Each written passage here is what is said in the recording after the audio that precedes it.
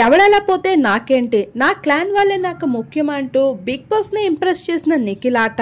ఇక నిఖిల్ తన క్లాన్ మారిన తర్వాత అవినాష్ హరితేజ కోసం ఏదైనా చేయడానికి సిద్ధపడుతూ ఆఖరికి యశ్విని పృథ్వీని కూడా ఇచ్చి పడేస్తూ వస్తున్నాడు ప్రతి టాస్క్లో కూడా వాళ్ళకి రివెంజ్ అంటూ.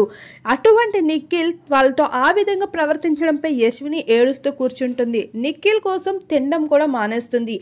పృథ్వీ నువ్వు చెప్పరా? వాడిలా మా ఉంటే నేను ఇంకా తినను. తినకుండా ఇలానే ఉండిపో నిఖిల్ని నాతో మాట్లాడమని చెప్పరా పృథ్వీ అంటూ యశ్విని కాళ్ళ వెళ్ళ పడుతూ కనిపిస్తుంది గింజుకుంటూ. కానీ నిఖిల్ అయితే మాత్రం ఇక్కడ కడ ఖండిగా చెప్పేస్తూ ఉంటాడు.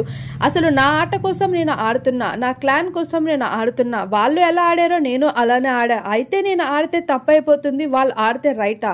అది ఎలా కుదురుతుంది? బిగ్ బాస్ లోపలికి నేను వచ్చింది విన్నర్ అవ్వడానికి. ఆ ఆట కోసం నేను ఎంత దూరమైనా వెళ్తా అంటూ నిఖిల్ చెప్పేసరికి ఇక అశ్విని కూడా అదే అంటుంది. అవును నీలాగా మేము కూడా అనుకుంటున్నాం కానీ ప్రస్తుతానికి నాతో మా మాట్లాడేశారా అంటూ? నిఖిల్ని మాట్లాడమని ఏడుస్తూ అయితే బాధపడుతూ కనిపిస్తుంది మిడ్ నైట్. ఇకపోతే నిఖిల్కి కూడా బిగ్ బాస్ బంపర్ ఆఫర్ ఇచ్చేశాడు.